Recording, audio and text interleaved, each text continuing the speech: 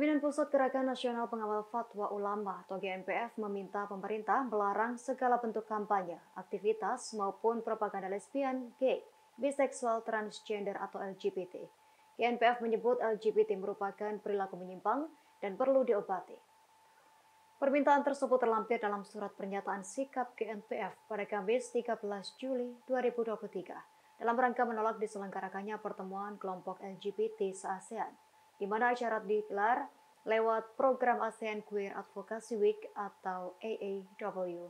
Disebut dalam surat LGBT adalah perilaku menyimpang yang perlu diobati, bukan dipropagandakan sebagai perilaku normal. Sehingga menurut GNPF perlu tindakan tegas pemerintah dalam menanggulangi penyimpangan tersebut.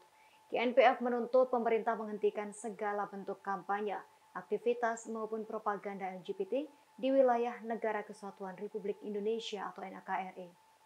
Dalam surat, seluruh umat Islam pun diajak bersatu melakukan penolakan dan penangkalan terhadap kampanye. Selain itu, aktivitas maupun propaganda sesat mengusung perilaku penyimpangan seksual. Respon GNPFID menyusul beredarnya pengumuman dari ASEAN Sogi Kaukus melalui akun Instagram miliknya. Akun tersebut menyebutkan acara Queer Advocacy Week atau AAW akan diadakan oleh komunitas LGBT se-ASEAN. Kegiatan tersebut diorganisir bersama LSM di Indonesia. Terima kasih sudah nonton. Jangan lupa like, subscribe, dan share ya.